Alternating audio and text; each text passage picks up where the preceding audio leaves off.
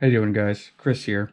And uh, I haven't talked about this little guy too much. Um, it's something else I've been working on. It's basically alongside of my sub 250 gram 7 inch. This is a sub 250 gram 6 inch. And it's a 6S quad. Uh, it's it's pretty fast. I don't even fly it on full 6S. I actually go into Betaflight and limit the motor power output by I think 12%, 12 or 12 and a half or 13% rather. Uh, acts more like a uh, 5S because on 6S, just straight 6S, it'll handle it, but even on a straightaway, it tends to just kind of float up. So I limit it down to more of a 5S power and I can get a straight line out of it. So it's pretty good.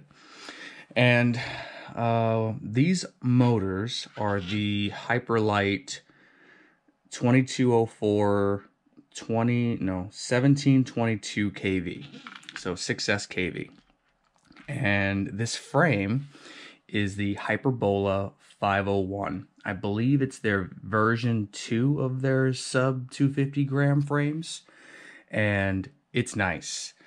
The nice, the super nice, the awesome thing about this frame is that these aren't 5 inch props. These are 6 inch props. I had to do no modification whatsoever. It just fits. 6 inch props fit on this 5 inch frame. So that's why I made it. It's pretty awesome. Uh, to get this quad with a buzzer, because I have to fly with a buzzer, that's just no GPS, but at least a self powered buzzer. I trimmed up the canopy, uh, got rid of all the excess, only put in two screws. These are 3M, yeah, M3 screws. And uh, it's got an XT30, and I run a 6S350 battery to get this thing to sub 250 grams. So it's when it does run, you're getting about three minutes of flight time out of it. So it's not a long time. Uh, the quad itself, in its current configuration, weighs 192.7. And yeah, I mean, literally, I'll show you a picture here. Literally, with a battery, uh, it's, I think, 0.4.6. I'll have to go back and look at the picture. I taken the picture earlier, but it's the skin of its teeth being under 250 grams. Had to use this linear antenna. When you use a linear antenna with the Vista system, you don't start off right away with uh, 25 megabits per second. You actually start off with 19 and it diminishes from there. So you lose a little bit of resolution. And because of that, I wanted to save some weight somewhere. So Kebab FPV at FPV Cycle made these motors. These are 2203 slash 2204. So these are the V2s. So these should be straight up 2204 uh, motors with 2800 kV. So I got a set of these basically to trim a couple of grams so that um, I could put my antenna back on, get better resolution, and maybe add a GPS depending on how much weight I save. I went ahead and prepped this motor to take off. As you can see, this is a T-mount. This T-mount will run with these Gemfan uh, six, yeah, 60 by 26 props. So I found these online. I was pretty excited. I said a, a six inch T-mount prop. That's going to be awesome. Basically had this in mind for it. So with this pitch of prop, because these are 60 by 42 and these are 60 by 26. So obviously my quad's going to slow down. so is it worth sacrificing speed for camera resolution or video quality? And I'll find that out. Because this thing is so light, is it going to make that big a difference? We're going to find that out. So I've got a motor prepped. I've already desoldered this motor so that I could weigh it, do a proper comparison with the prop that I'm flying with now. And uh, yeah, we'll see. I'll be right back. Let me get this set up. All right, guys, and we're back. And uh, we're all set up here. Uh, we're going to weigh the motors. We're going to weigh the propellers, weigh everything together, get a good idea of how much weight we're going to save by switching out the motors. And I also have an additional prop for the 5 millimeter motor or for the 5 millimeter shaft for this motor just in case I don't like the way that the new motor performs with this low pitched prop. I have a lighter prop that I got in today that'll save me a gram per prop which will allow me to switch out this antenna as well. So do we want to go for the most minimal change possible or do we want to switch out the motors? That's what we're going to find out. So let's start weighing these motors out. All right, so this is the Hyperlite 2204 at 1722 kV. And the motor itself with short wires, those wires are what fit, is 21.7 grams. That is with the prop nut. And I was using just two screws. So now we're up to 22.4 and then with this prop this is also what I was using it is at 27.1 now this is a it's a 60 by 42 but who makes it looks like Drum roll, please. DAL. It's a DAL prop.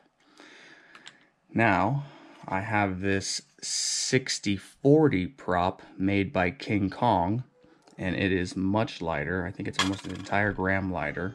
So as you can see, 25.8. So if I don't like the way these FPV cycle motors with this smaller pitched prop, this uh, 26 the 60 by 26 pitch prop, then we'll switch back to this. It's all about how it feels, right? So we got to wait on this guy. Let's see what the FPV cycle motor is. So let's do fair. So I put a prop nut on that one. So I want to put a the two screws on there. So 21.2. So with this amount of wire, and the two screws, it is almost identical. Oh, mm, take that back. 21.6, 21.7, 21.7 versus with the two screws 21.1 and then I'm to mount it with two screws 21.5. So yes, there will be some weight savings there. About a gram for just the motor.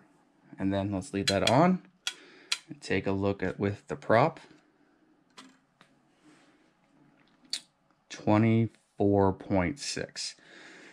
So yes, uh, we're talking about, what it was at 27? So almost three grams of motor just by switching the motor and the prop. So that's pretty significant when you're talking about a sub 250 gram quad. So just the prop itself.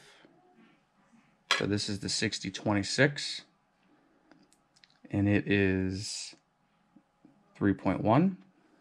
This is the King Kong 6040. It is 3.4. And this is the DAL 60 by 42. 4.7. So as you can see, definitely lighter. So this might be the way I go, or could be this guy with the new motors. Uh, I'll put some flight footage up. I've already flown this a bunch, so I've got a lot of canned uh, video, but I'm going to put this motor on first because that would be the easiest. And I'm going to fly around with this new prop and we'll see how that goes. And then we're going to swap out all of these motors, put these on, and uh, yeah, I'll show you all three flights, at least a minute of it anyway. I don't want you to get too bored. But uh, yeah, stay tuned. So here's the original build and what it weighed in at. And uh, here's it with just a regular 4S battery. The 6S battery, something I had to make. So basically I put these two 3S batteries and then made a in-series connector for it. Uh, the flight, this is one of the original flights I had when I was just testing it out. And uh, I kind of wanted to simulate this flight with the next two flights. That way you get a good idea of exactly how this thing performs. Now, I'm noticing with this, my up tilt is pretty good on this quad with these props and these motors. Um, I, as you see, the up tilt changes just slightly from build to build. I'm not sure. I didn't go in and change the up tilt. I mean, yeah, I hit some stuff, so probably that's the result. Uh, here's the next quad, same motors, the Hyperlite motors, but this is the King Kong props. Uh, you saw they were a little dirty. Uh, you'll see why here in a minute. Uh, as I'm flying, I found this excavator. Really wanted to play with that a little bit. And uh, just barely missed that power line there. Uh, as I ran through, try to simulate the same path I did before. I think I actually reversed it this time around. You get the idea though. But uh, towards the end of the flight, you'll see that excavator again, and you'll know why the props got dirty and uh, that antenna was missing. I'll let you keep watching.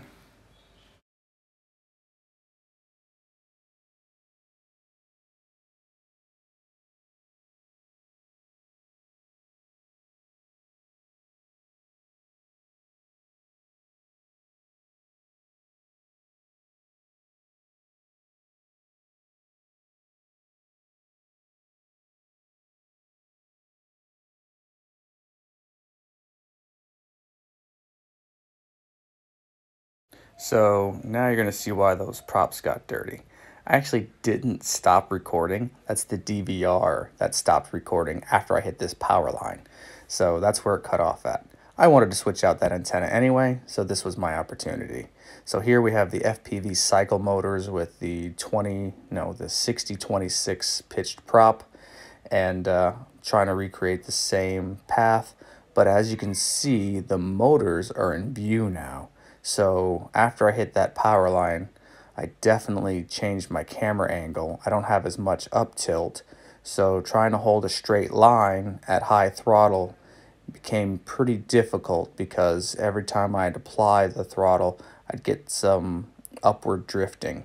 So you really need to have a more aggressive up tilt if you want to keep a, a straight line with these ultralight quads. So too easy. I mean, I'll go back in with a screwdriver and I'll adjust the up tilt. But with that being said, I wasn't unimpressed with these motors. I don't feel like I'm going too much slower. Uh, I think if I change the up tilt, I'll be somewhat comparable to what I was before. So, not bad. I I mean, am I really going to go back in and change the motors again? No. I like how light this quad is now. I like the fact that I'm underweight significantly and that uh, it won't take much at all to get it to perform just like the other motors did. So I'll keep these and probably reuse the motor somewhere else. I just did a punch out there and if you noticed, I didn't have any vibrations. Look pretty good. I'll do another one here. Look for some vibrations. All right, after I finish spinning. Here it comes. Yeah, that was, uh, of course, we're talking about at the end of the pack, so just wanted to get some uh, quick maneuvers in. And uh, that's it. Thanks for watching, guys. Until next time.